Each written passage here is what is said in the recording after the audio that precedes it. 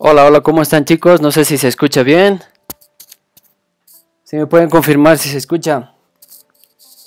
Estoy aquí viendo el chat también de todos los que están ah, asistiendo al webinar. Me confirman.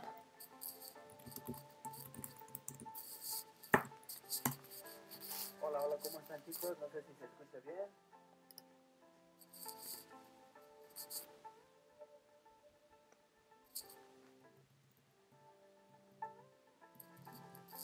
Perfecto, muy bien, muchas gracias, querido Ángel, muchas gracias chicos por estar. Muy bien, gracias por, asistir a este nuevo webinar. Estoy predispuesto para poderles compartir algo bonito, algo que vamos a aprovecharlo en este tiempo que nos han cedido en el Instituto Atenea. Atenea está ya hace muchos años ya con capacitación en diseño, ya con la carrera de diseño gráfico y comunicación visual, ya hace mucho tiempo ya con el técnico superior y pues en este tiempo tan especial, especial entre comillas porque todos estamos encerrados en nuestra casa, pues hemos decidido hacer una serie de webinars para que todos nuestros estudiantes y todo el público en general pueda aprovecharlo. Eh, hoy día hemos tenido, antes, antes de este webinar, a las 4 hemos tenido un webinar con eh, Juan Pablo Villena, si ustedes lo han podido ver. Espero que sí, porque estaba muy interesante, porque justamente hablaba de un tópico que generalmente en el tema de diseño a veces no se suele hablar mucho, ¿no? que es el tema específicamente de cultura y, sociedad y demás. Perfecto, entonces los, veo ahí. Excelente. Gracias, gracias por asistir y gracias por el apoyo.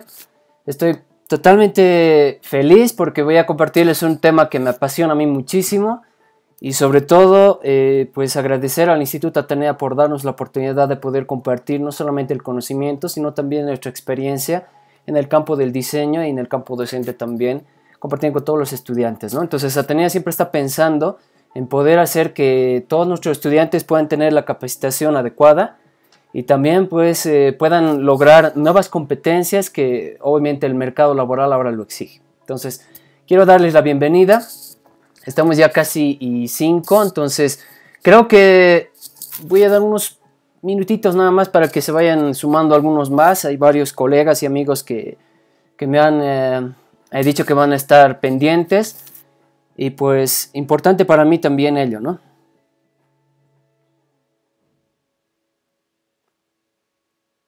Eso, mientras ahí voy respondiendo algunos mensajes de los colegas, justamente mandándoles el link para que puedan estar ahí, ¿no? Excelente. Muy bien, hay varios, varios que están, ¿no? Ahí José dice, la corbata, no, pues no estamos con corbata, estamos en otro ambiente, ¿no? Estamos en, la red, estamos en cuarentena, ¿no? Pero gracias por, por, el apoyo y por estar pendiente, José, mil gracias. Excelente, muchas gracias, gracias por, por seguir. Y pues los leo aquí, estoy ah, en paralelo con otra máquina para que poder leer también sus comentarios y todas las inquietudes que ustedes tengan, ¿sí? Bueno, anteriormente ya hemos tenido algunas, eh, algunos webinars que ustedes han debido presenciar, como el de Andrés Quiroga y demás, ¿no? Han, debido ver hace una semana atrás, ha estado también en Instagram Catalina Guillén, varios de mis colegas y amigos también que han participado en los webinars de Atenea. Y pues eh, esta vez me toca a mí porque yo quería también compartirles una temática eh, importante e interesante. ¿Sí? Perfecto, entonces yo creo que ya vamos arrancando. Ahí dice Grover, falta el sombrerito. Sí, me faltó el sombrerito, ¿no? Porque esta es una chaquetita así del recuerdo. Una chaquetita de esas así bastante buenas de baile y demás. Así que bueno.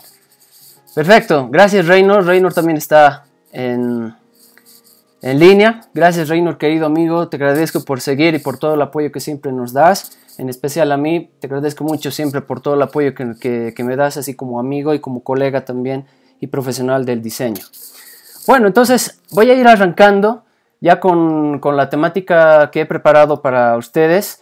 El nombre del webinar que yo le puse es Diseño como transformador de realidades. Y esto del diseño como transformador de realidades tiene que ver muchísimo con entender que el diseño evidentemente es una disciplina tan hermosa eh, que todos los que estamos involucrados en ella la, disfrutamos diariamente, pero sin embargo hay algunos elementos importantes que a veces se nos escapa. Por ejemplo, entender que el diseño no solamente es una herramienta que puede tener fines comerciales, sino también puede tener fines sociales y otros más culturales y demás, así como Juan Pablo Villena hablaba hoy día de un tema bien interesante con, con el tema de cultura, que a ver si ustedes lo pueden ver también en la, en la página de Atenea está justamente el video, entonces lo pueden chequear, es genial, es justamente una experiencia de, de, estar con un cliente y estar con, eh, tomando un contexto de una población y tomar en cuenta diferentes variables para el diseño para tomar decisiones. Entonces es, es bien interesante. Algo así tiene que ver con mi charla. Le he puesto el como, diseño como transformador de realidades porque eh, el diseño es una disciplina muy noble que tiene propósitos bien específicos en la sociedad y algunos que muchos lo han ido descubriendo. Y voy a contarles un poquito cómo yo también me, he topado con esto. Bueno, entonces voy a arrancar, voy a presentarles un poco, quiero arrancar primero, quiero arrancar con hablar un poco sobre el diseño gráfico y la comunicación visual, pero de la mano de uno de mis autores favoritos de diseño. Esta partecita es un poco teórica, pero ahorita voy a mostrarles algunos ejemplos a lo que quiero llegar. Primero, el diseño se lo ha definido muchas veces por muchos personajes, eh, grandes diseñadores, que muchos los, los hemos leído en sus libros y demás, y los admiramos, por supuesto, tanto de nuestro contexto como de otros contextos también de otros países. Pero esta es una de, de las definiciones más bellas que siempre me ha tocado a mí y, a todos, a muchas personas también, y quiero compartirles para refrescar un poquito sobre esto. ¿sí? Se trata del diseño gráfico y la comunicación visual por Joan Costa.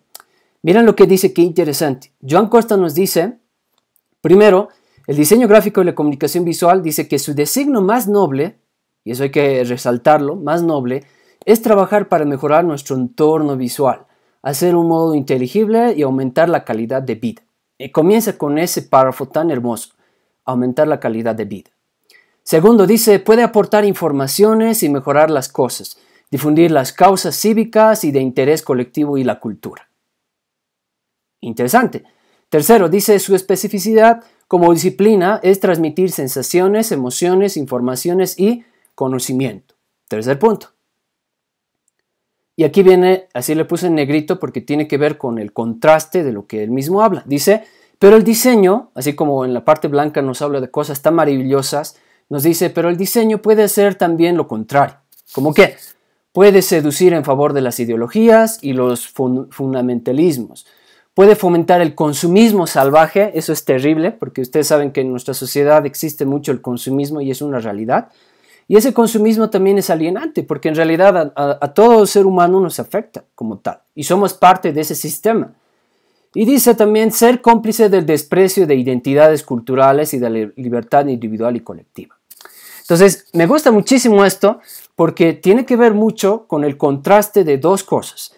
La parte tan noble del diseño que puede ayudar a una sociedad, si se dan cuenta, yo me quedo con eso siempre de aumentar la calidad de vida de las personas, pero también nos habla de otros puntos eh, tan complejos de entender muchas veces, de que tiene que ver con la manipulación de personas, ser cómplice de despreciar a una identidad cultural, etcétera, etcétera. Entonces, esos puntos son muy relevantes primero. Y yo quería compartirles esto porque John Costa es uno de mis autores favoritos, que si ustedes no lo han leído muy bien, a él o de repente les da curiosidad, yo les invito a que lo puedan leer, porque es, es, realmente increíble lo que él nos dice. Esto está sacado del libro de Diseñar para los Ojos y es prácticamente con uno de los primeros textos con el que arranca John Costa. Voy a trasladarme a este otro lugar.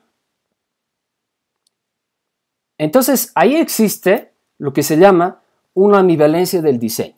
Vale decir, o lo puedes usar para bien o lo puedes usar para mal. De hecho, esto es algo real en la disciplina. ¿Por qué? Porque implica todos estos contextos económicos, políticos, técnicos, culturales, sociales, éticos, etcétera, etcétera. Podríamos quedarnos mucho tiempo hablando de esto, pero el sentido de la charla no es tanto evaluar si éticamente o si la responsabilidad social está en el diseño, si un diseñador lo está usando, sí o no, etcétera, etcétera. a lo que yo quiero llegar es que el diseño, así como una disciplina noble, puede transformar realidades en las personas. Y a pesar de que eso es un descubrimiento que uno tiene que tenerlo en el proceso del estudio, del trabajo y de la experiencia, creo que a mí me ha marcado muchísimo. Y esa es la razón y el motor con el cual siempre me mueve a mí para poder entender un poco más sobre la carrera, que además de amarla, es la que me da también de comer todos los días. Voy a venirme a este sector. Eh, generalmente yo trabajo mucho con esquemas y demás. soy una persona que a veces tiendo a perderme mucho en, tratar de memorizar. No puedo memorizar muchas cosas y los esquemas y demás me ayudan a entender. Así que yo voy a ir recorriendo en todo esto del, de mi esquema para que ustedes puedan entender también y también sea mi hilo conductor como tal. Mientras eh, voy acá, gracias chicos, estoy leyendo sus, mensajes constantemente. Muchas gracias por seguir chicos. Bueno, eh, el diseñador gráfico. Este individuo, como diría uno de los colegas y grandes profesionales que yo admiro, como es Fernando Navia, este individuo, este profesional, tiene propósitos específicos. Uno de ellos es que tiene que tener mucho conocimiento. Y el hecho de conocer no implica de que este diseñador solo conozca de la disciplina del diseño. Implica que tiene que conocer diferentes ramas más. De eso voy a hablarles ahorita.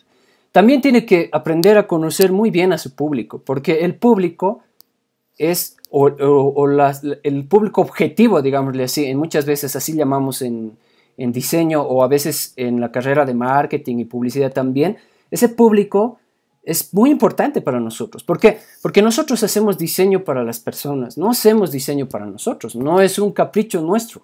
Entonces es necesario conocer a las personas. Y como tal, también nosotros podemos ser ese mediador de la información.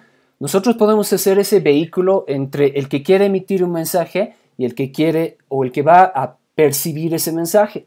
Bien, entonces, aparte de eso, el diseñador también muchas veces tiene que ver mucho o tiene que trabajar muchísimo la parte estética, pero no, no solamente sería esto de la estética, porque la estética es una partecita nada más. En realidad lo que nos interesa es la funcionalidad. Y la funcionalidad del diseño tiene que ver mucho con que un mensaje se entienda. Así de claro. El diseño si se entiende y la gente puede interpretarla de manera adecuada, entonces está logrado, no hay más que discutir. Y para eso hay muchas herramientas con las cuales los diseñadores podemos contar. Entonces lo funcional tiene que ver con eso. Pero este es un punto que me llama mucho la atención. Mejorar la calidad de vida de la gente. Y ahí es donde nos trabamos. Ahí es donde generalmente muchos de nosotros los diseñadores nos cuestionamos y, les digo así de manera bien personal, creo que yo he arrancado la carrera de diseño sin conocer del todo los propósitos reales de la disciplina. Yo he comenzado, como muchos de, los eh, colegas y también de muchos de mis estudiantes, entendiendo que el diseño es una herramienta para dibujar, o es una disciplina, o es, no sé, una profesión de complemento, etcétera, etcétera, pero nunca me había puesto a pensar que el diseño podía ser un mecanismo para transformar o mejorar la calidad de vida de personas. A veces es un poco abstracto entender ello, pero para esto hay un recorrido. Ahí es donde nos chocamos con esto y ahí es donde muchas veces nos ponemos a preguntar esto. ¿Cuál es la función social del diseño? O sea, la función social del diseño implica qué aporte da a la sociedad, ¿Qué es lo que el diseño propone para que la sociedad mejore, para que la sociedad crezca, para que como personas no solamente crezcamos y nos desarrollemos profesionalmente, sino en el día a día tú como ser humano mejores? Ese es el punto. Y a veces cuando nos preguntamos esto, nos quedamos con un hueco y un vacío. Entonces, ahí yo le quiero hablar de estos personajes que para muchos les han transformado la vida como tal y en mi caso también. Les pongo los siguientes autores. Primero, ahí tenemos a un señor llamado Norberto Chávez, que de hecho hay muchas, muchos estudiantes y muchas personas que lo conocen, Y pues si nos encontramos con Norberto Chávez, vamos a ver que Norberto Chávez es uno de los autores más importantes del diseño de identidad visual. Él de hecho es el que ha planteado este esquemita que vemos a la derecha, que tiene que ver mucho con la tipología de, de marca y demás, que es muy interesante. Sin embargo, él tiene un enfoque bien particular de esto. Él dice, la función social del diseño, o sea, el, el, hecho de que cumpla una función el diseño en la sociedad, no tiene que ver con el diseñador, tiene que ver mucho con el cliente. O sea, el cliente es el que tiene que tener el propósito para darle una función social. O sea, digamos que el cliente quiere hacer un, un plan de señalética, por decir, y ese plan de señalética quiere que se aplique. Entonces, el, el cliente ha visto una necesidad y evidentemente la señalética va a utilizarse para mejorar eh, la calidad de vida de las personas en, orientar, por ejemplo, a la gente. Pero Norberto Chávez lo dice, pero el diseñador no es el que decide el cliente es el que dice. El diseñador solamente como profesional ejecuta el proyecto y punto, ahí muere. Contrario a lo que dice Norberto Chávez, Ronald Shakespeare, que es uno de los capos de esta área del diseño social, y Jorge Frascara, y voy a quedarme siempre y voy a hablarles todo el tiempo de Frascara, porque yo quiero comentarles que es uno de mis autores de diseño así, pero favoritos. Y pues ellos tienen otra línea distinta. Ellos dicen que el diseño tiene un propósito social y no es solamente el cliente quien escoge esto, sino es el diseñador mismo que se, se inmiscuye, se mete en ese proceso y es parte de esa transformación que les estoy comentando. Un ejemplo de Shakespeare, y si a ustedes les interesa, pueden ver a Ronald Shakespeare. Shakespeare es uno de los diseñadores más influyentes en Argentina. De hecho, eh, uno de sus hijos ha venido a Atenea hace años para poder dar unas charlas espectaculares, pero independientemente de eso, Ronald Shakespeare ha sido el encargado de hacer todo el plan señalético eh, en Buenos Aires. O sea, y él es bien tajante porque él dice, a mí no me interesa el diseño en otras ramas. A mí me interesa el diseño que ayude a las personas, que ayude a la gente. Y justamente Jorge Frascara es aquel que va a la par con él, porque Jorge Frascara nos dice que el diseño no tiene otro propósito más que ayudar a la sociedad. Así tal cual. Entonces son dos, líneas interesantes que se hablan. ¿no? Eh, yo personalmente me he quedado con Shakespeare y con Frascara y de eso es lo que quiero hablarles. Eh, Chávez tiene su enfoque, lo respeto, lo entiendo muy bien a qué se refiere, eh, sin embargo, no es alguien que siga en ese aspecto. Sí en otras ramas eh, de, la, disciplina del diseño, sí, pero en este caso particular, eh, Shakespeare y Frascara para mí son unos iconos importantes, y no solamente ellos, hay otros más. Entonces, como verán, pues yo, y ustedes saben que yo soy así bien maquero y soy amante de Apple, así mi corazón late todo el tiempo por la manzana pues yo me he enamorado de esta rama del diseño social y, del, diseño comprometido y transformador en una secuencia de tiempo. Les quiero comentar que mi proceso para entender, porque creo que muchos de ustedes que tal vez les inquiete esto, tal vez lo, lo vean como algo oportuno, ha tenido este proceso. El 2003 yo he entrado por primera vez a la carrera de diseño, aún estando en colegio. Eh, en algún momento tal vez podríamos charlar muy aparte de eso. Algunos de mis estudiantes saben muy bien cómo yo trabajo ello. Y pues el 2003, estando en colegio, me he chocado por primera vez con la rama del diseño. Pero yo lo entendía como el diseño para, eh, no sé, para poder hacer eh, gráficos en Photoshop o gráficos en Illustrator, tener una computadora brutal para hacer efectos y demás. Ese era mi propósito del 2003 en el diseño. Pero he sufrido una evolución porque el 2005, a raíz y gracias a la oportunidad que el Instituto Atenea me ha dado para poder eh, trabajar en el ámbito de la educación, yo me he enamorado de la educación. Y desde ese día hasta ahora no podría concebir que la educación no esté implícita en mi vida. Yo siempre decía eso a muchos, el día que yo deje la educación voy a tener algo que se me va a pagar en mí. Y la educación es uno de los puntos transformadores en mi vida. Por eso es que yo me identifico mucho con estas ramas. Es por eso que he conocido mucha gente y he visto cómo el diseño ha transformado vidas también. No solo porque se han capacitado, sino porque también han entendido otros propósitos en el diseño como tal. El 2015, hace ya cinco años atrás, me he chocado por primera vez con este señor Frascara. Y él ha sido uno de los puntos más importantes transformadores para mi vida. ¿Por qué? Porque gracias a un grupo de personas, grupo de estudiantes y amigos, con el cual formamos eh, un grupo que se llamaba Diseño de Sonrisas, con el cual nosotros estábamos estudiando clases sociales porque había hecho justamente un taller, me acuerdo en Atenea había hecho un taller sobre, eh, sobre diseño para la educación, así se llamaba el, el taller, pero diseño para la educación. Yo les mostré cómo el diseño podía ayudar a la educación.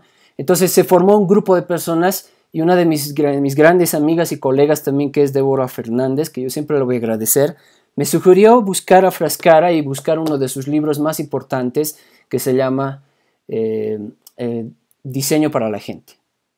Y el 2020 ya me doy cuenta que ya soy realista en esto. Inicialmente el 2015 yo he comenzado con un discurso del diseño social, pero a rajatabla. Y yo quería saber cómo el diseño podía ayudar a la sociedad. Y después me he dado cuenta que lo real es que el mercado te exige muchas cosas, que lo comercial es lo que te da dinero y demás. Entonces he tenido que sufrir una transformación. O sea, les cuento esto no como una de mis anécdotas y experiencias nada más, sino es para que ustedes también se den cuenta que para poder entender los propósitos sociales y transformadores del diseño, hay un proceso. O sea, no es de la noche a la mañana. Muchos no lo entienden. Y yo me pongo en sus zapatos porque es un elemento que tiene que tener una transformación poco a poco. Entonces, voy a eso primero. Quiero que me entiendan bien porque si no, de lo contrario, estaríamos pateando oxígeno y yéndonos directo a conceptos que a veces no tienen mucho que ver con eso. Bueno, ahora voy a hablarles de algunos casos. Esta es la parte tal vez más bonita, una de las partes más, más bellas que hay. Tiene que ver muchísimo con algunos casos concretos y solo voy a hablar de dos casos y una experiencia personal así, que la he podido rescatar para hablarles hoy día. Primero, estos casos tienen que ver con cosas que yo he podido analizar y que además están dentro de mi contexto. No son casos que los he buscado en internet y, ya he dicho, ah, sí, esto me parece interesante y ya, sino tiene que ver mucho con mi contexto y con lo que a mí me gusta y con lo que también he visto que ha sido transformador en muchas áreas. Quiero empezar con esta persona que a mí me ha sido fascinante estudiarla, Susan Kerr. No sé si alguno de ustedes ha escuchado, pero Susan Kerr es la primera persona que se ha encargado en hacer la interfaz gráfica en la Macintosh. Ustedes saben que soy amante de Apple, así que independientemente de eso y que está dentro de mi contexto, cuando yo he visto a esta mujer, ha sido increíble, ha sido tan fantástico que realmente yo he visto que este elemento que no, que entre comillas no decía yo estoy haciendo diseño social y demás, era un elemento transformador. ¿Por qué? Porque ella ha sido la primera que ha empezado a utilizar el sistema de cuadrícula, de píxeles minimalista, para poder crear con este estilo, que es uno de los estilos que uno de mis, de mis colegas y amigos lo, está, lo ha estado explotando en sus cursos. Yo recuerdo muy bien Josadán. Josadán, yo sé, si estás ahí, tú, bien sabes que estás trabajando con los chicos con el tema de cuadrícula y hacer gráficos con píxeles. Les cuento que esta persona, Susan Kerr, ha sido una de las primeras que ha utilizado este estilo con esta técnica de pixel art. ¿Qué es lo que ha hecho?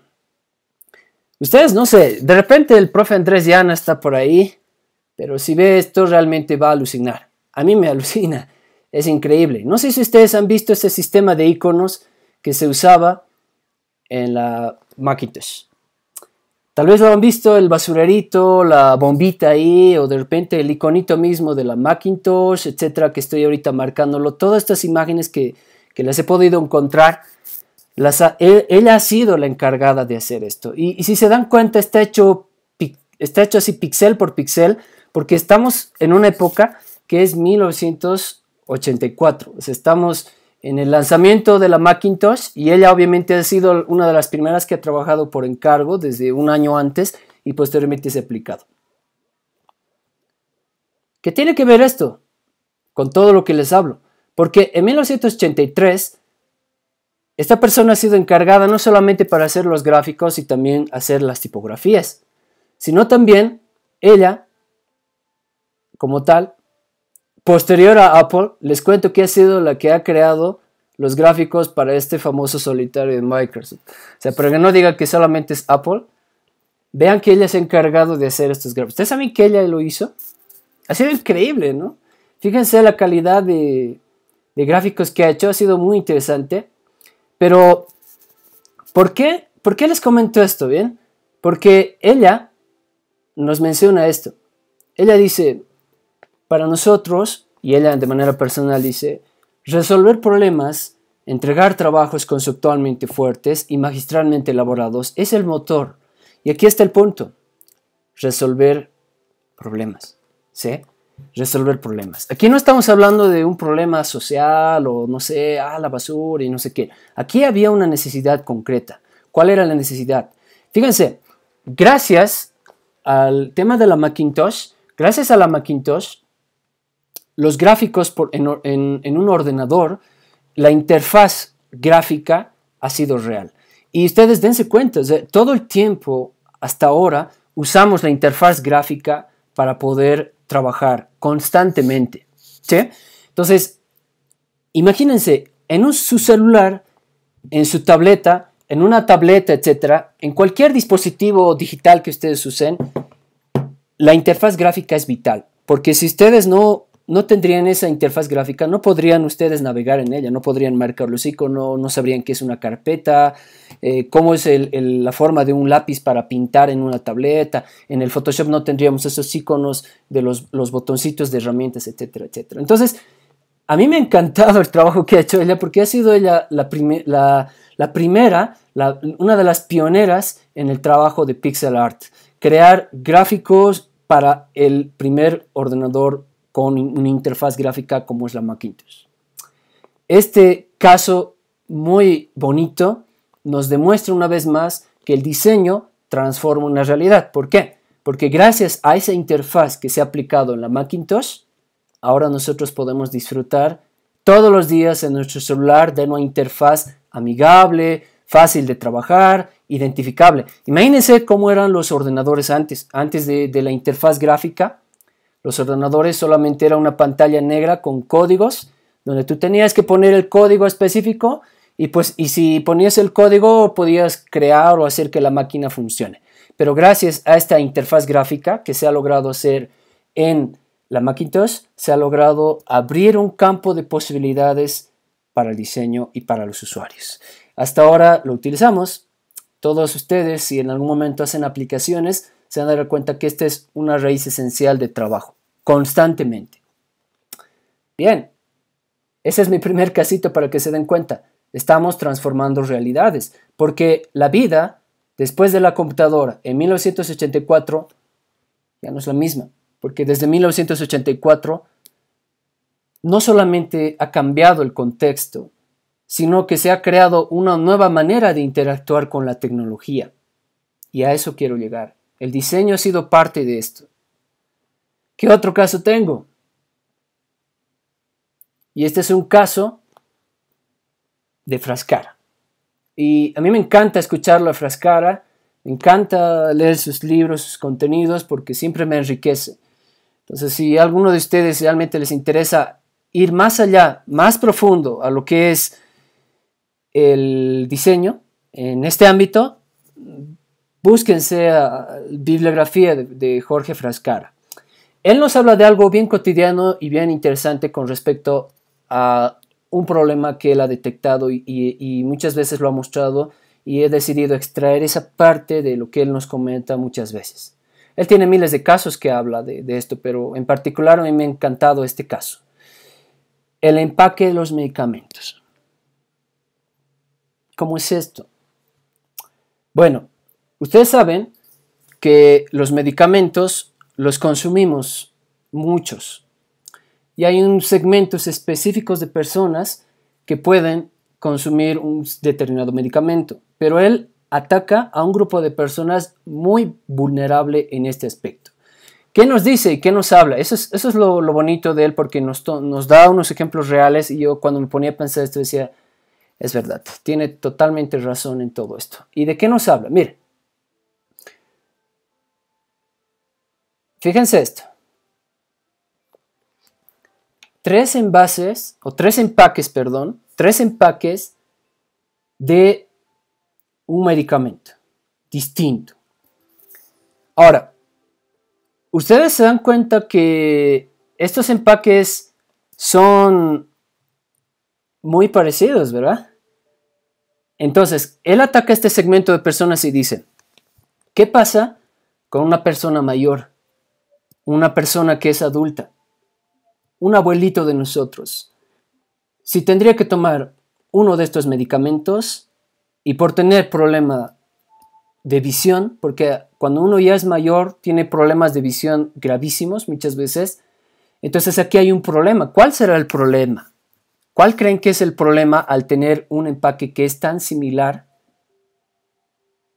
en una persona mayor? Si ustedes se dan cuenta, estos empaques podrían confundir el consumo de un medicamento específico en una persona mayor. Entonces él nos dice, y es, y es bien interesante el ejemplo, totalmente válido, ¿por qué no se diferencian los empaques de medicamentos para las personas mayores? Porque las personas mayores tienen ese problema. Entonces un abuelito, una abuelita, podría tomarse un medicamento que no es el que le toca. ¿Por qué? Porque simplemente el empaque es igual uno con el otro. Entonces no hay manera de poder diferenciarlo. Ahí hay un problema de diseño. Así claro, problema de diseño terrible. Entonces, él nos dice que el diseño tiene que estar centrado en el usuario. O sea, no podemos nosotros pensar en hacer un diseño espectacular y lleno de efectos y no sé qué, si no pensamos en la gente. Eso es lo que nos plantea. Él nos dice, la gente es la que tiene que estar conectada con nosotros, porque si no, estos productos pueden ser letales para ellos. Y creo que todos en algún momento hemos sufrido algún problema con, el, con respecto al diseño. Textos que no se leen, identificadores que no ayudan. A mí me ha pasado que cuando yo estaba yendo a renovar mi carnet de identidad, no había un letrero específico de señalética que me diga dónde puedo renovar mi carnet. Yo estaba haciendo fila en otro lugar y a veces como buen paseño no pregunté por miedo o porque no conocía el lugar. Y había un letrero ahí que decía eh, carnets para carnets nuevos, algo así. Yo voy a esa fila y después de estar más de 15 minutos ahí parado, que no avanzaba la fila y demás, eh, por si acaso pregunto a una persona y le digo, esta fila es para renovar también, ¿no ve? No, joven, es para poder sacar un carnet nuevo, así. Entonces, miren, he perdido 15 minutos de mi vida haciendo fila en vano. Y después me dicen, no, es allá. Y no había ningún cartel, ningún letrero de señalética que me diga renovaciones de carnet. Y es en la vida real. Entonces yo creo que todos ustedes han debido pasar algún problema así. Imagínense con el tema de medicamentos. Eso es terrible. Eso realmente es terrible. Entonces, inclusive Frascara menciona y dice en el marketing social, los mensajes hacen felices a quienes lo producen, pero no consiguen sus objetivos. ¿Por qué? Y eso tiene que ver con el diseñador. A veces nosotros nos sentimos tan satisfechos haciendo un diseño porque a mí me encanta, porque tiene este color, porque es una ilustración, no sé qué, así. Pero en el fondo nunca nos hemos puesto a pensar que este diseño tiene que ayudar a las personas y tiene un propósito específico. En el caso de los empaques, y si ustedes han visto el webinar que se ha dado hace dos semanas atrás más o menos, uno de los webinars que hablaba de empaques, una de las funciones de los empaques no solamente tiene que ver mucho con que la cajita esté bonita y se vea bien y que sea de buen tamaño y demás, sino que sobre todo la persona pueda identificar el producto. Eso es diseño. Y eso es diseño que transforma, porque al ayudar a un grupo de personas tan vulnerable como una persona anciana, podemos ver que el diseño está cumpliendo un propósito, está ayudando en la calidad de vida de las personas. Otro punto que él nos menciona también es, nos dice, no sé si a ustedes les ha tocado leer las famosas cajitas de los medicamentos o ver los prospectos de los medicamentos, pero hay casos pero terribles, porque a veces uno agarra el prospecto, lo abre, que es el prospecto es ese papelito que viene dentro de la, de la cajita del medicamento, y tú abres y dices, pero a veces tú con dificultad puedes leer porque la letra es tan pequeña que no ayuda, ¿no? Imagínense una persona mayor, no va a poder leer nada, absolutamente nada. Entonces, por ejemplo, un tamaño pequeño de lectura adecuado Muchas veces se suele usar 6 puntos, 5 puntos mínimos, pero imagínense tener un tamaño de letra o un cuerpo de letra, en este caso, 3 o 2, peor todavía. O sea, es imposible que leas. Imagínense si, si en este prospecto te da una serie de recomendaciones y tú no lo tomas en cuenta, simplemente porque además de encontrar un chorizote de texto que no está bien organizado y no lo entiendes, al final lo desechas se dan cuenta, son casos reales, o sea, como diría, casos de la vida real, más o menos, ¿no? Son casos totalmente reales que muchas veces no los consideramos, pero son realidades que en el día a día nos chocamos con esto. Entonces, y esta es la parte que yo he aprendido también en, gracias a, a uno de los profes del instituto que es Fernando Navia, que siempre nos ha estado compartiendo también extractos de libros que él ha estado leyendo, libros frescos. Eh, Frascara, en uno de sus libros donde habla de la educación en el diseño, nos dice, el diseño se orienta en resultados. O sea, vale decir, mira lo que dice, qué importante esto. Los resultados no son los productos creados, o sea, no es, no es un libro no es un producto final un libro, no es, no es un libro, no es este el resultado como tal, o no es el resultado, no es aquel letrero bonito que está impreso de señalética en un lugar con buen color, con buena letra, que se ve genial, ese no es el resultado. ¿no? Ahí dice, sin algo que sucede una vez que la intervención del diseño ha tenido lugar y han ocurrido cambios positivos debido a esa intervención. O sea, los resultados no son cuando el diseño termina. Los resultados son cuando el diseño ya incide en la gente, cuando afecta. Esos son los verdaderos resultados de este diseño que transforma.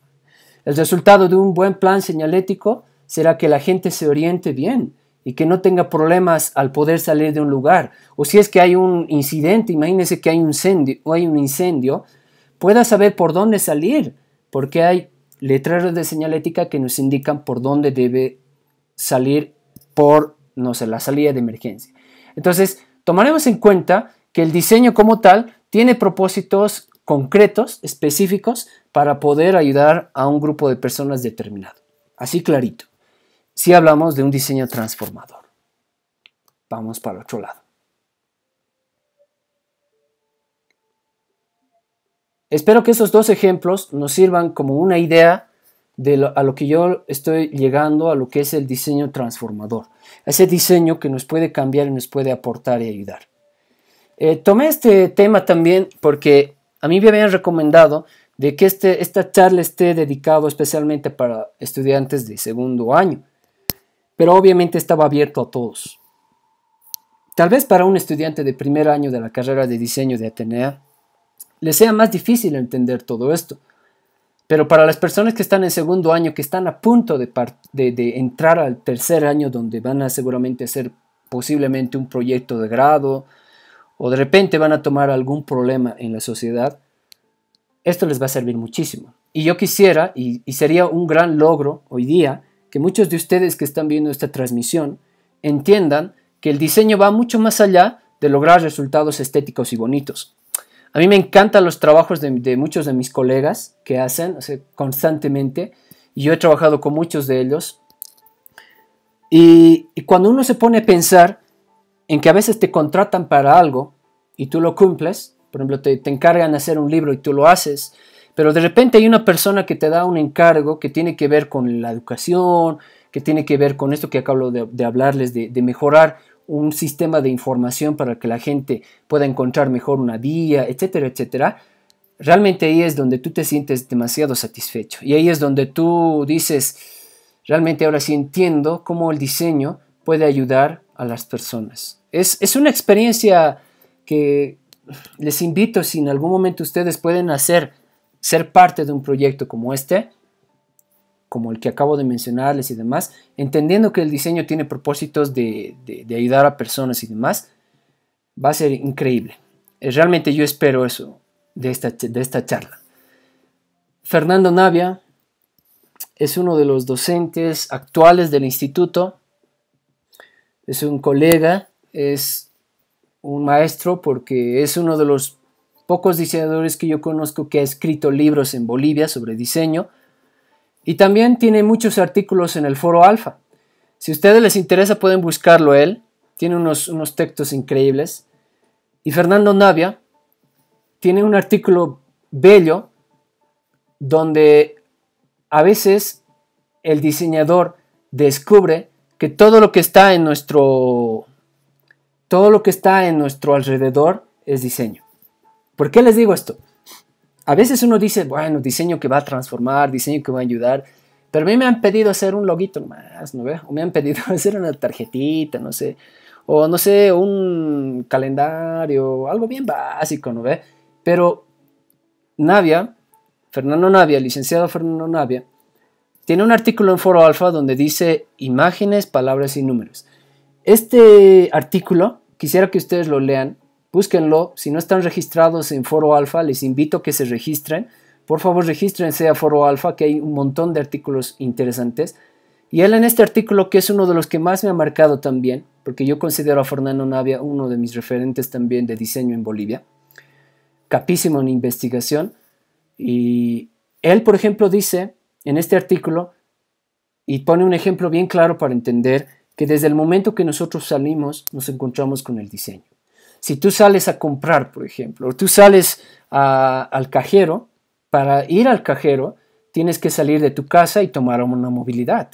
Eh, para identificar qué movilidad tienes que tomar, tienes que saber qué número de minibús o qué línea del Puma Katari vas a tomar, ¿verdad? Entonces, y el Puma Katari es un sistema de, de signos, de palabras, eh, o números muchas veces con el cual nosotros podemos identificar y podemos ir a un determinado lugar. Para saber qué es el Puma Katari, hay un sistema de identidad visual que se ha creado y hay además una, una especie de diseño muy particular tomada de Tiahuanaco que se lo ha aplicado al bus Puma Katari. Y a través de eso tú sabes que es el Puma Katari y que no es un bus cualquiera, no es un micro azul del 2, digamos, ¿no? Para nada. Entonces, Tú conoces bien a través de códigos visuales, a través de textos, a través de palabras, a través de números, a través de todo. Si tú vas al cajero, ¿cómo sabes cómo sacar dinero o cómo operas? Tienes una tarjeta. Esta tarjeta de, débito, de, de débito en este caso, tiene diseño. Cuando metes a la tarjeta, además que te indica cómo colocar esta tarjeta, de en qué dirección vas a colocarla, te aparece una pantalla donde te da igual una, serie de palabras donde tú tienes que interactuar con ellos. Tomemos en cuenta este ejemplo para que se den cuenta que todo en nuestra vida cotidiana es diseño. Todo, absolutamente. Tenemos códigos visuales, de color, de forma, de palabras, etcétera, todo el tiempo. Entonces, creo que esto es muy enriquecedor entender. Quisiera que lo lean. Quiero empezar con esto para hablarles un poquito de la teoría de, de Frascara para que ustedes entiendan bien. Frascara nos separa, y eso es algo que también decía en el otro webinar eh, Juan Pablo Villena, nos decía, eh, Frascara separa el diseño en estas cuatro ramas importantes. Lo separa así. Nos dice, hay un diseño para la información, hay un diseño para la persuasión, hay un diseño para la educación y hay un diseño para la administración. El diseño para la información Básicamente es lo que acabamos de ver hace rato en los prospectos y demás. Los libros, los textos y otros tienen un determinado elemento visual y tienen una cantidad de información de texto que nosotros podemos utilizar para entender algo. Entonces, este diseño para la información es demasiado importante y es una de las ramas con la cual yo he trabajado más tiempo en mi carrera de diseñador. También existe el diseño para la persuasión, que es lo más común que uno tiene como idea. Cuando uno dice diseño de persuasión, significa el tema de publicidad, el tema de propaganda, etcétera, que es válido también dentro del ramo del diseño. Nadie va a decir que no, todos estamos implicados en ello y además estamos invadidos todo el tiempo de publicidad y propaganda y demás, ¿verdad? Pero también existe el diseño para la educación, que es uno de los talleres primeros que di sobre estas ramas el 2015, hace ya cinco años atrás. Y es donde yo me he enamorado de toda esta área del diseño social, del diseño con conciencia social y transformador. Este diseño para la educación tiene que ver mucho con pensar en cómo el diseño incide en la educación de las personas. Ahora díganme, y eso yo les pregunto a ustedes, un grupo de personas que tiene educación en un país determinado puede crecer mucho más a diferentes niveles. Entonces, la pregunta ahí es, ¿cómo el diseño puede ayudar a que la educación de la gente mejore? Ahí hay miles de respuestas que podríamos poner. Imagínense un libro que sea más interactivo, o sea, o, que tenga una serie de gráficos visuales más entendibles. Creo que todos hemos aprendido a través de un audiovisual, un documental, etcétera, y todo eso nos aporta, nos ayuda. Así hay códigos visuales también que muchos niños y jóvenes podrían usar. Es bellísimo esa área. Y yo les invito que si a ustedes les encanta todo lo que estoy hablándoles ahorita, tal vez ustedes puedan comprender y buscar un poco más sobre esto. Y el diseño para la administración tiene que ver con el diseño de estos folletos, formularios, lo que puse en la diapositiva ahí abajo. Boletos de compra, organigramas, que al parecer parece que no fuera algo importante, pero en realidad es muy necesario muchas veces en el diseño los formularios que a veces nos dan para llenar a veces no son muy entendibles. Entonces, ¿qué tal si el diseño podría ayudar en esto? sé cuánta gente se ve trabada en ese tipo de problemas. Todo porque la información no está bien organizada. Es un caso también real que nos menciona Frascar. Y nos dice algo más. Nos dice que el diseño y el estudiante de diseño debería también estudiar estas otras ramas. Nos dice que el diseñador debería estudiar y estar relacionados al área de la psicología, al área del marketing, al área de la antropología, al área de la sociología. Si se dan cuenta, son áreas sociales que nos ayudarían a entender a la gente, ¿verdad? Entonces, a ver, les cuento una experiencia que me pasó hace unas dos semanas más o menos atrás, eh, donde yo me ponía a pensar y decía, la antropología, por ejemplo, el estudio de la sociedad o el estudio de una persona, etcétera, me ponía a, buscar y a ahondar un poquito más sobre esto y me acordé de una pregunta que un estudiante de primer año, uno de mis estudiantes de, la materia de tipografía, me preguntaba y me decía, profe, le, cuento que voy a entrar a estudiar otra carrera y no sé cuál me recomienda. Estaba, estaba por decidir entre, entre eh, antropología y sociología y no sé qué más era. Y yo le digo, pero pucha, o sea, si tienes la oportunidad de estudiar esto, métele, ¿no? ¿Por qué? Pero no, pero me han dicho muchos que no, que no, no saben cómo responder, muchos diseñadores no sabían cómo responder. Y bueno, yo le decía, ¿sabes? Si tú entendieras las bases culturales, la identidad cultural que tenemos, esa identidad riquísima que podríamos explotar para el campo del diseño y para ganar la identidad del diseño boliviano que, que no está bien claro en nuestro contexto, no lo pensarías dos veces. Metete, o sea, metete. Y, le animé tanto que él dijo, sí, tienes razón. Así, ¿no? Le, le puse el ejemplo de, los buses del Puma Qatari, le, le, puse muchos ejemplos donde eh, los estudios eh, antropológicos y sociales han descubierto en el tema cultural y del contexto cultural y otros eh, grandes resultados antiguos, precolombinos inclusive en algunos casos, que, aportan a la identidad del diseño boliviano, por ejemplo. Pero también nos puede servir para poder entender a las personas, para que una persona, inclusive alguien que está en el área, en, el área de marketing, para entender a un grupo de personas, esto que hablaba eh, la licenciada Catalina Guillén, que es también una persona que admiro y quiero mucho, ella, por ejemplo, hablaba hace una semana atrás en un webinar, hablaba de la brecha generacional con los centennials. Entonces, para entender a las personas es necesario que un, diseñador, que alguien que es profesional de esta área, conozca bien todo esto. Si no, nos aplazamos. De verdad que nos aplazamos. Estas ramas que tienen que ver con la cultura, con el contexto, con la historia, con el comportamiento de la gente, con lo que piensa la gente, lo que ha dejado, etc., es demasiado importante. Porque de lo contrario, todo lo que estoy hablándoles no tendría ningún fundamento. Créame, el diseñador no es aquel que dibuja o hace un trazo o, es un capo en Photoshop y demás, no. Un buen diseñador responsable con estas áreas que les estoy comentando tiene unas transversales importantes. De hecho, en muchos centros de educación en universidades han incluido estas materias dentro de ella. Y uno de los diseñadores que también admiro como Adrián Pierini, él mismo decía, ¿qué materias sugerirían para que en la universidad siempre se mantengan y estudien? Y muchos decían, tiene que meterse esto, lo otro. O sea, en otras palabras, el diseñador tiene que estar muy preparado para conocer todo el contexto social, económico, político, cultural, de necesidad, etcétera, etcétera. Brechas generacionales, de todo. Estas áreas sociales enriquecerían muchísimo. Esa es una labor importante que el diseñador debe plantearse constantemente. No es un extra nada, más. Es parte de lo que nosotros deberíamos tomar como base fundamental de nuestra carrera. Les digo de verdad, el momento que yo he empezado a leer libros y a investigar sobre estas ramas, me he dado cuenta que mi vista, mi ángulo de diseñador era demasiado cerrado y he tenido que abrirme mucho más para poder comprender todo esto.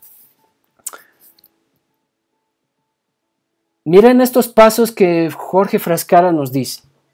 Primero nos dice, debes tú descubrir necesidades, que es algo que les que es algo bien básico que les estoy mencionando ahora, que además en los ejemplos les hablé, necesidades específicas.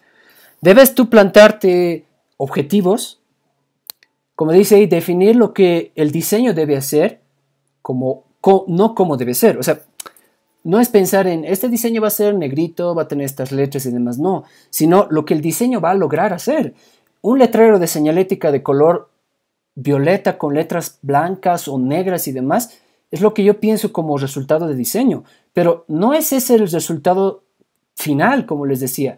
El resultado final va a ser que la gente se oriente, que la gente descubra por dónde ir. Entonces es muy necesario entender que el diseño tiene que incidir en la sociedad, tiene que tener un propósito y el diseño tiene que apuntar a eso. eso es, ese es un análisis más profundo tal vez en algunos casos más humanista, pero que a veces se nos escapa. Definir cómo alcanzar los objetivos, cómo lograr, cómo crear estrategias y métodos. Para eso hay muchos, muchas metodologías de diseño también que se utilizan. Eh, el design thinking o el de Bruno Munar y demás, que muchos lo utilizan para lograr entender todo esto y la resolución del problema. Hay pasos guiados, de hecho. Necesario recopilar información. O sea, tú no puedes plantear algo si es que no te propones en investigar. La investigación es prácticamente algo implícito en el diseñador, inclusive para crear ideas y para entender al contexto mismo. Conocer los usuarios, a los usuarios y la situación. El cliente también es un usuario. Es verdad, el cliente es tu primer aliado, pero también tienes que entender quiénes son las personas, a quiénes vas a llegar. De lo contrario, tu diseño va a caer en algo tan recurrente que muchas veces nos, suele pasar, como que el diseño es algo extra, no es un, es un adorno visual y nada más, cuando en realidad hay mucho, mucho más que tendríamos que mencionar, ¿no? ¿Qué más? Frascara nos dice, posterior a esto, que deberíamos hacer prototipos, y esto es parte de las metodologías de diseño, hacer prototipos y hacer un testeo. Si tú no haces un prototipo y no testeas, entonces no vas a tener buenos resultados. Es muy necesario hacer prototipos y después testearlos, porque si no, si tú no testeas, vas a tener muchos problemas al momento de tener resultados adecuados. Refinar la propuesta, producir e implementar, que es necesario, y finalmente evaluar los resultados. Es muy necesario, ¿no? La propuesta, el producir e implementar y evaluar los resultados pienso que es una parte crucial del proceso de diseño. Porque si tú no trabajas y haces pruebas, no vas a tener grandes resultados. Dime, o sea, no estás haciendo diseño para ti, estás haciendo diseño para las personas. Ese es el motor de esto. Y eso es lo que a muchos nos mueve. Los problemas sociales no se pueden resolver con el diseño, solo se pueden reducir es una verdad. No es que el diseño va a ser el superhéroe de todo, pero sí va a ser uno de los actores más importantes para que los cambios en la sociedad y, y, el transformar realidades sea constante. Y eso creo que muchos podríamos decirlo de muchas formas. Shakespeare, que es un capo este señor, Dice, si el diseño no sirve para que la gente viva mejor, entonces no sirve para nada. ¿Se dan cuenta? A ese punto él llega a ser bien radical. Claro, muchos dirían, es radical y demás así, pero en realidad tiene mucha razón, porque en el fondo, cuando tú analizas, tal vez desde un plano más humanista y demás, el diseño tiene estos propósitos en el fondo. O qué honor que el diseño esté vinculado a este campo y que uno pueda entender que el diseño es una disciplina, como al principio decía con John Costa, una disciplina muy noble. Y a veces nos ponemos a pensar en que estos tienen que ser proyectos grandes, grandes proyectos, ¿no? Decir, pucha, o sea, realmente para poder eh, llegar a hacer este tipo de proyectos de señalética y demás, tiene que ser un proyecto enorme, grande, wow. No creo que yo lo pueda. Entonces, así como el Kiko, ¿no? Así, ah, sí, qué chiste, ¿no ve? Uy, así que qué chiste, claro, porque se supone que yo, ¿cómo voy a agarrar pues, un, un programa señalético del teleférico y demás? a veces nos ponemos a pensar en eso pero en realidad no es así, porque yo lo he descubierto. Y en todos estos cinco años de estar metido en estas áreas, en tu contexto, tú puedes descubrir una oportunidad, en tu contexto, en lo que tú eres. Las oportunidades están ahí. Es cuestión de que tú le des una mirada a todo lo que tienes en el día a día y te des cuenta que el diseño podría ser artífice de todo esto. Quiero decirle sobre todo que el diseñador no es una isla, el diseñador es alguien que trabaja con un grupo multidisciplinario, que trabaja con otros profesionales para lograr buenos resultados. Qué lindo tener que tomar este tipo de proyectos para poder aprender mucho más sobre ello. Y voy a contarles para finalizar una de mis experiencias cercanas con el cual he logrado eh, un resultado muy lindo. Eh, el año pasado, el 2019, gracias a mi amigo a mi querido y queridísimo amigo Alejandro Archondo, amigo y hermano, que no sé si me está viendo en este momento, pero a él le han invitado el poder hacer eh, el, diseño de eh, toda la identidad visual de la Feria del Libro. Como ustedes verán, este, este, este, esta identidad visual y toda la gráfica de la Feria del Libro eh, era un proyecto enorme. Y a mí él me ha convocado para poder hacer la diagramación de, de este folleto que es como el programa cultural que sale para la Feria del Libro. Uno podría decir, pero ¿esto qué tiene que ver con transformar la realidad?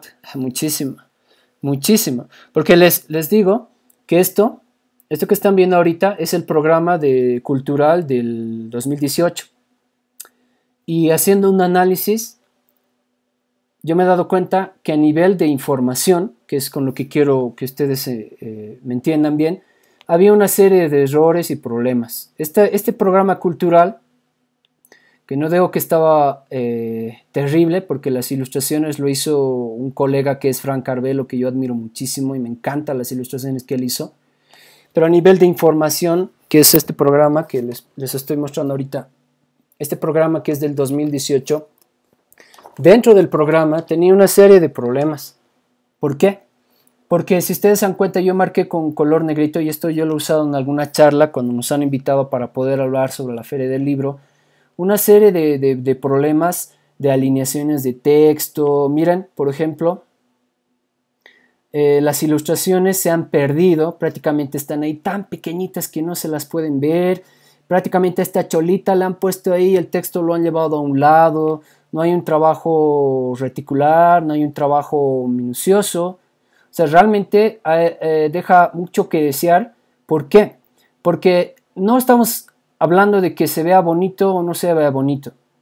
Estamos hablando de un elemento importante que va a ayudar a las personas a poder estar. A ver, si ustedes se dan cuenta, cuando ustedes van a la feria del libro, ustedes lo que, lo que hacen cuando ingresan, les dan este folleto y ustedes este folleto abren y quieren saber dónde rayos está cierto lugar o cuándo es la agenda eh, de, tal día o qué eventos hay en la feria, etc.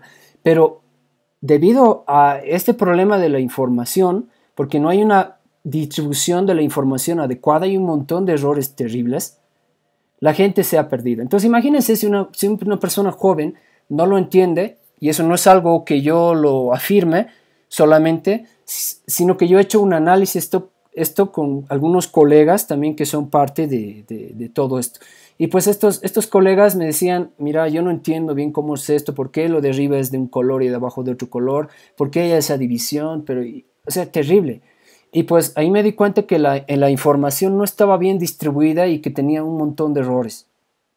Entonces, para mí este ha sido como que, oh, por fin la oportunidad, como para poder hacer que este, este, este programa cultural de la Feria del Libro pueda ayudar a cambiar la realidad de experiencia de una persona que va a la Feria del Libro. Entonces, ahí me he chocado con estos puntos. Tengo que cuidar la diagramación, tiene que ser muy coherente y sobre todo tengo que cuidar el orden porque la gente es la que va a ver, ¿no? O sea, si no lo hago bien, la gente se va a perder y va a agarrar este folleto y va a decir esto no sirve, no, mejor me voy a explorar nomás y a ver qué encuentro, digamos, ¿no? Algo así. Entonces, ahí es donde yo me, puse esto. Y esto es algo que siempre, siempre que lo menciono me acuerdo siempre de, de mi colega de Catalina Guillén, la empatía. La empatía es ponerse en el lugar del otro ponerse en, los zapatos del otro. Entonces, como dice Edor, tú estás prácticamente obligado a poder entender cómo esta persona lo va a leer en este caso.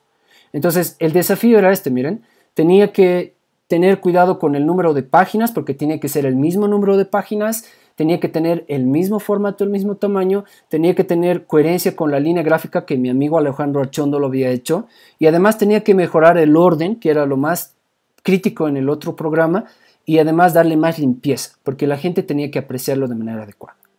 Haciendo pruebas y análisis y, haciendo también un análisis crítico, no solamente mi producto, sino testeando también con personas.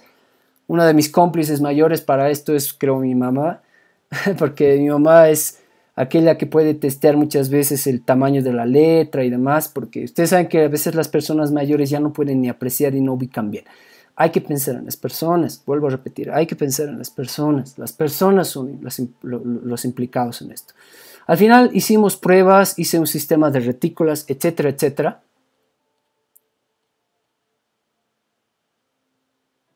Y quedó así. Entonces le dimos más espacio y más limpieza, jugamos mucho con, inclusive con la cantidad de palabras que tienes que colocar para que la lectura sea adecuada. Yo tenía un poco de temor, porque yo decía, en este programa, especialmente de los días, uno de los puntos favorables para esto, y eso siempre lo resalto cuando hablo de esto, es que hice que los colores de los textos tengan conexión con los colores de las salas, respeté al máximo los personajes que mi amigo Alejandro Archondo lo hizo, y también traté de usar la cromática para organizar todo lo que yo les decía hace un momento de Jorge Frascara, que es el diseño de la información. O sea, gran reto, gran reto. Y además es para la Feria del Libro, ¿no? O sea, la Feria Internacional del Libro en La Paz. Gran desafío. Al final, yo tenía temor de que estos espacios blancos de acá quedaran demasiado, pero cuando ya lo vimos impreso, esto es como dice mi amigo Archondo, son las guaguas que salen, las guaguas gráficas, la portada que hicimos y todo ello, tuvimos un gran resultado, porque miran, se logró tener los espacios adecuados para que la gente lo lea. Tuvimos una organización mejor y una de, las experiencias más bonitas que, y aquí está el programita, les muestro el programita, siempre son, es un orgullo para mí. Miran la, la diagramación que logramos, es mucho más pulcro. Una de las experiencias más bonitas que yo tengo es que en la feria del libro estaba presentando uno de mis docentes de la universidad un libro y yo le dije, me encontré así de casualidad con él, le dije, le cuento que he hecho yo la gráfica con mi amigo, así con el archondo, nos encontramos, charlamos con él y dije, ¿qué le, qué le ha parecido la diagramación del folleto? Así, dígame nomás, así con sinceridad, sin miedo, así, ¿no? Y él me dijo, lo veo más ordenado, realmente está mucho mejor, eh, hay más coherencias, siento que me puedo ubicar en él y al final pues se sintió eh, tanto Archondo como yo, nos, eh, él particularmente muy honrado por ello y yo me sentí muy feliz porque dije realmente aquí es, aquí es el punto, o sea, no necesito ir y decir voy a transformar, no sé, el sistema de pictogramas para tal grupo de personas y demás, no. No se trata de eso. Se trata de buscar problemas que estén dentro de tu contexto y las posibilidades que puedas hacer. Entonces, mira, tú puedes tomar un ejemplo pequeño, algo muy sencillo, que esté en tus manos y que tú tengas los profesionales cerca con los que puedas trabajar. Eso es bien importante también, porque no puedes tú decir voy a agarrar esto y no tener ningún público estratégico, vale decir, ningún profesional cerca para poder hacer un proyecto. Evidentemente hay a veces oportunidades y posibilidades que se nos abren y yo sinceramente le agradezco mucho a mi amigo Alejandro Archondo, a mi amigo y hermano, porque él me ha dado, las, me ha abierto las puertas para muchos de estos proyectos y ha sido uno de los, de los casos más lindos que hemos tenido. Ha sido una aventura increíble y nos hemos sentido así, ¿no? Así de felices. ¿Por qué?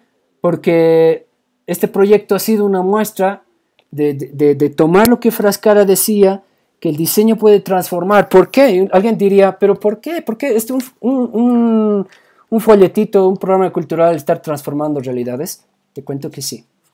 ¿Por qué? Porque una persona mayor, una persona adulta, un, abuelito o una persona que tiene problemas de, visión, no va a tener que estar buscando y mareándose al, encontrar dónde está tal evento o dónde está eh, tal, tal, no sé, tal expositor o el auditorio, no.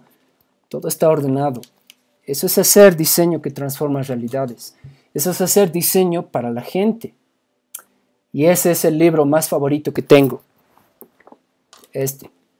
Yo este libro lo he comprado hace dos años en físico, pero hace cinco años lo he leído en, digital, en PDF, porque no había dónde comprarlo. Y como yo le decía a Fernando Navia, si tú tienes un libro en PDF y tienes después la posibilidad de legalizar, porque esto es legalizar, tenerlo en tus manos, así el original, ¿no ves? De tu autor favorito, es una belleza. Yo les recomiendo esto. Léanse este libro, Diseño gráfico para la gente, Frascara. Hay otros libros más de Frascara que tengo, alguno de esos que agarré, que es El poder de la imagen también de Frascara. Les recomiendo totalmente. Cómanse libros de Frascara si es que a ustedes les interesa. Busquen a Ronald Shakespeare. Lean Joan Costa. Es increíble. Él tiene que sacar un libro de esquemática donde nos habla de la organización de la información y otros. Es vital todo eso. Y quiero quedarme aquí para ya cerrar. Y esto es algo que siempre yo decía a muchas personas y espero que ustedes puedan entenderme. Señores, nosotros somos producto de la construcción de otros, de otros actores en nuestra vida. Si yo me he vinculado al área social y me ha encantado hacer proyectos entendiendo así a detalle como les estoy explicando. Tiene que ver muchísimo con quiénes están a tu alrededor. Aquí, como verán detrás de esto, obviamente no lo van a poder leer porque está muy pequeño, pero hay un montón de nombres que han influido en mí. Personajes importantes, gente que admiro, que he leído sus libros, que he visto videos, que he visto películas, etcétera, etcétera. Personas como el mismo Steve Jobs o como el mismo Michael Jackson o como Nelson Mandela o Martin Luther King, que tienen que ver mucho con esto, así personajes grandes, como también personas que están cerca de mí. Por ejemplo, el que más ha influido y siempre voy a agradecerle es mi padre. Mi padre que desde muy pequeño siempre me ha hecho, me ha puesto la chispa para poder investigar un poquito más allá de lo que yo como adolescente veía. Y después de años yo siempre termino agradeciéndole porque mi padre estudió filosofía y era muy crítico, era una persona increíble, para mí es una admiración siempre, le he invitado a que vea la charla, espero que esté viendo, si no igual lo va a poder ver en algún momento. Yo siempre lo pongo a él como mi estándar más alto de formación y también a mi madre, porque mi madre me ha enseñado la sensibilidad y los propósitos que uno debe tener con la sociedad y la gente. Pero también hay personajes muy queridos en todos estos nombres de aquí atrás. Colegas como el mismo Archondo o Reinaldo Mallea o Catalina Guillén o el mismo licenciado y maestro Fernando Navia y otros más que están cerca de mí, Franklin Monzón, Josadán y otros más, que también me han enseñado y me han dado la oportunidad de, entender otro tipo de contexto para poder eh, ver de otra manera el diseño. Entonces, quiero cerrar con esto, espero que me hayan entendido y que sea un tema enriquecedor para ustedes. Eh, y gracias a Juan Pablo Villena porque ante, hace, unos, hace unas dos horas o tres horas atrás él habló de un tema, de un caso real que él tomó. Les invito a que vean su webinar espectacular. A mí me parece increíble. Eh, quiero cerrar con esto y quiero que siempre entiendan que todos nosotros somos influidos por todo nuestro contexto alrededor. Yo no soy más que la construcción de todos ellos que han influido en mí y me han enseñado. Con eso quiero cerrar y quiero agradecerles por haber seguido la transmisión aquí en Atenea. Y pues si tienen alguna consulta extra, ahí me están llegando algunos mensajes. Dice Diego Cruz, dice, trabajaron también en la identidad señalética para la Feria del Libro. No, te cuento que la parte de la identidad de señalética eh, lo hicieron también en paralelo, pero estaba encargada ahí mi querida colega y amiga también, que es Ana Grace, estaba creo coordinando con ello, pero específicamente el Archondo se encargó de la parte gráfica y yo me encargué de la, de la parte editorial. Eh, Soraya dice, genial, dicen, gracias Soraya por seguirme. Maya dice, felicidades, dice, quedó muy hermoso su trabajo. Josafat dice, le agradezco mucho por sus palabras. Soy de primer año del instituto, me aclaró muchas cosas y llegar a ver más allá. Muchas gracias. Gracias a ti, Josafat, por ello. Juanpa, ¿estás ahí? Bueno, es diseño consciente, siempre a la altura. Muchas gracias, compadre, como dices. Muchas gracias, Sergio.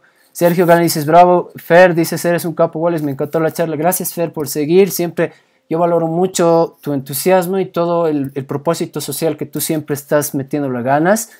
Eh, querido Ale, queridísimo Ale, un gusto y un honor ser su compañero. Claro que sí, es un gusto, es mío, querido Ale. Eh, gracias, querida Evelyn, también gracias por la charla. Muchas gracias, Evelyn, por seguir. Fran Trujillo es tremenda charla, bravo, dices gracias. Es muy necesario que un diseñador estudie esas carreras. Eh, mira, buena pregunta, Maura Serrano. Mira, muchas veces cuando uno está en diseño, siempre muchos te preguntan, ¿qué otra carrera puedo estudiar en paralelo? Mira, yo soy estudiante ahorita de marketing y publicidad. Y me he dado cuenta que estas ramas del, del marketing y publicidad pueden ser utilizados de una, de una manera increíble, también lo es. Y a mí me ayuda mucho a complementar. Pero, sabes, yo moriría por estudiar una de estas carreras que les he hablado como antropología o como sociología, porque me ayudarían a entender un poco más otro tipo de perspectivas que tiene que ver mucho con el ámbito del diseño social. Si tú quieres meterte a una de estas carreras, pues no lo pienses dos veces. Yo realmente te animo. Te animo muchísimo a que lo hagas. Si realmente tú te sientes entusiasmada con esto, hazlo. Te prometo que el diseño está todavía en pañales y vas a ver que de aquí a un tiempo todo esto que estamos hablando va a ser algo cotidiano, muy cotidiano. Muchas gracias por tu pregunta. ¿Podría dejarnos la bibliografía de algunos libros de diseño que mencionaba? Un abrazo, profe. Saludos, Denis. Claro que sí, querido Denis. Como les, comentaba, mis dos libros de base siempre van a ser eh, Diseño gráfico para la gente de Jorge Frascara hay otro libro bellísimo de diseño de la información también que habla Jorge Frescara. También John Costa, aparte de, los libros que tiene de diseñar para los ojos, tiene un montón de libros como DIRCOM o de señalética y demás que nos ayuda a entender cosas más específicas y puntuales en el campo del diseño, por ejemplo. Y también eh, yo te recomiendo, y eso si estuviera aquí a mi lado y Fernando Navia me diría, yo les haría leer Marx y otros más autores que tienen que ver con temas sociales netos, totalmente de acuerdo con él, porque para entender los contextos sociales es necesario meterse a estos campos de otras carreras también.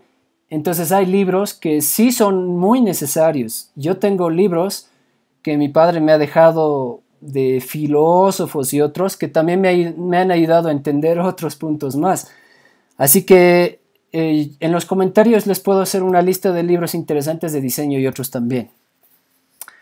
Eh, gracias, Denis, querido colega también, Denis. Eh, gracias, Arlene. Ah, Arlene me dice, eres una gran persona. Ahora dice psicología, también puede ser. Puedes complementar, mira que es muy importante. Como te digo, no es necesario que una persona necesariamente tenga que obligatoriamente estudiar estas ramas. Si puedes entender y estudiar parte de ellas, excelente. Pero si realmente tienes la posibilidad y si tienes el tiempo como para meterte en un área social, pues metele, ¿no? De verdad, metele. Muy buena la charla, gracias María Inés, también dice super profe, felicidades, buena exposición. Bueno, Jonah dice Fernando Navia, Catalina Guillén, Andrés Llanes, ustedes fueron mis referentes, gracias Jornán Quispe. Muchas gracias chicos por los mensajes, por el apoyo, por todo. Eh, les agradezco de verdad el haber seguido toda la transmisión. Ya voy cerrando porque ya estamos sobre tiempo, nos hemos pasado mucho más de lo programado, teníamos más o menos como una hora, pero ustedes saben que cuando la la exposición eh, la sientes y es tan vívida como esta, eh, te da para, mucho más, ¿no? Bueno, Anthony dices, felicidades, Walter, saludos desde Santa Cruz. Muchas gracias, Anthony. Gracias por, ello. Y pues, eh, bueno, ya voy cerrando. nada más, estén siempre en casita. Esperamos la situación mejore. Aprendamos. Yo soy de la idea de que si un día no aprendes, es un día perdido. Así que tomen en cuenta ello, ¿ven? Una preguntita más dice, Jürgen, un saludo, gracias. ¿Hasta qué punto el diseño puede encontrar su límite en nuestro contexto? Eso dice Sally. A ver, hay otro más que dice, muy buena transmisión, ya, perfecto. A ver, Ale, querido, mm, lo que pasa es que el contexto que tenemos es un poco, es un poco complejo, ¿no? entender desde esos puntos, ¿no? Porque realmente trabajar con estas áreas sociales en el diseño tiene sus, limitantes totalmente. ¿Por qué? Porque uno puede trabajar en áreas comerciales totalmente, como yo lo hago también, pero trabajar con este tipo de proyectos tiene que ver mucho con, el, con la madurez y el contexto mismo de la gente. Las personas todavía no entienden todavía lo que es el diseño del todo se piensan que es un instrumento para dibujar nada más.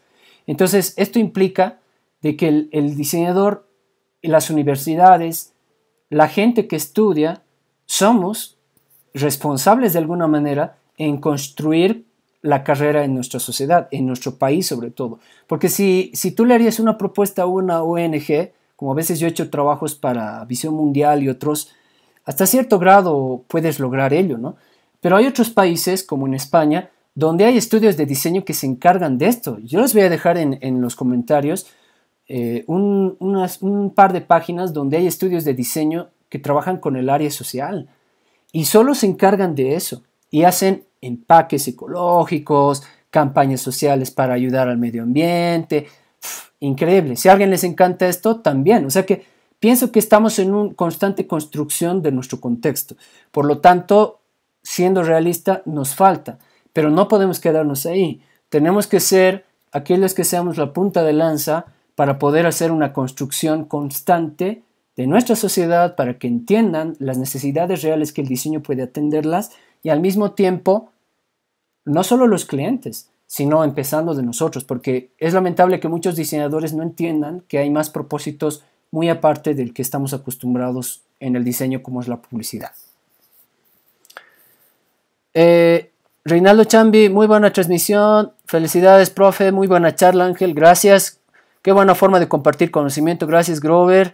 Profe, ¿quedará grabado? Sí, va a quedar grabado esto. Si que ustedes quieren verlo después, lo pueden ver de nuevo.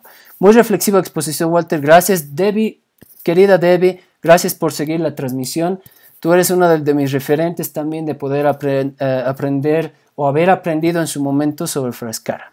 Eh, Diego dice, ¿cómo podemos ayudar como diseñadores para la transformación de esta realidad que vivimos en el COVID-19? Eso es una pregunta bien fregada. Pero te cuento que yo tengo un licenciado en la universidad que ha estado desarrollando con un equipo de trabajo increíble una aplicación para poder ayudar en esto del COVID-19. Imagínense que los mensajes visuales pueden ayudar no solamente a, que una persona se sienta tranquila o, por lo menos pueda tener esperanza, sino que también puede ver herramientas tecnológicas que se integren al diseño para ayudar. Imagínense una aplicación que te ayude a que las compras puedan ser más rápidas, que puedan detectar un espacio específico entre una y otra. O sea, se están haciendo grandes cosas. Si ustedes han visto, hay publicidades de muchas empresas grandes también que están ayudando a concientizar sobre todo a la gente. Y creo que uno de los vehículos más importantes es lo que hemos hablado hoy día, el diseño de la información. La información con el diseño, créame que es muy, muy importante en este tiempo, porque también existe información falsa y demás, ¿no? Entonces, cómo tú presentas la información es ella. Yo te podría dar un ejemplo para ya terminar, creo que es la última pregunta que respondo. Mira, yo te voy a poner un ejemplo real de la información. Mira, a mí me pasa que yo no memorizo muy bien las cosas y tengo problemas, inclusive al escribir, muchas veces me equivoco hasta en la pizarra al cambiar la letra B por la D, es, es, terrible, es terrible, a veces no puedo. Algo que me ha ayudado mucho a mí es hacer esto que he hecho hoy día, hacer una guía, una especie de esquema o mapa que me ayuda a que yo pueda entender procesos. Imagínate que la esquemática puede ayudar a que un grupo de personas pueda informarse y entender mejor. Imagínate que el diseño pueda ayudar a personas que, que utilizan o que no hablen, perdón, que no hablen el castellano. Mensajes visuales que estén adaptados a ese grupo de personas. ¿Cómo le haces entender esto a un niño? A un niño que está atemorizado porque sus padres no salen de casa y él no entiende qué es lo que está pasando.